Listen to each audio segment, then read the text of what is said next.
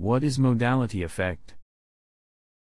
Definition That memory recall is higher for the last items of a list when the list items were received via speech than when they were received through writing.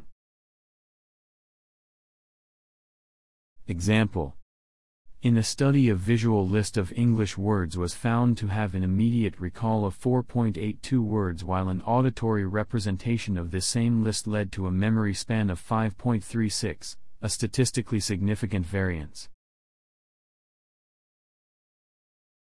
We are always striving to improve our content. A small donation from you could help us a great deal in providing more detailed content.